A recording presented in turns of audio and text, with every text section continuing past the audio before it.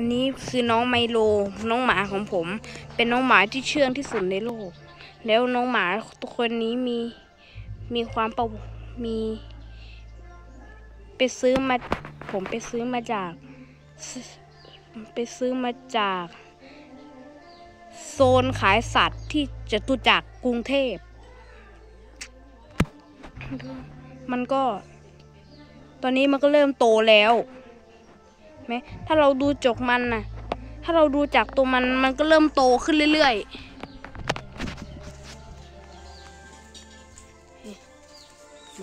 ดูมัน มันแบบ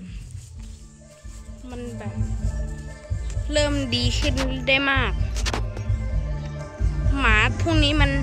ดีขึ้นได้มากเลยอ่าตอนนี้ผมกำลังเดินลาะมันอยู่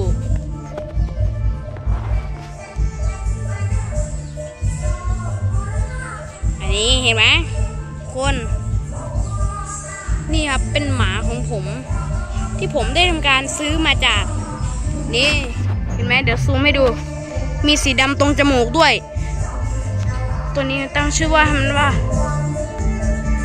ไมโล ตัวตัวสีน้ำตาล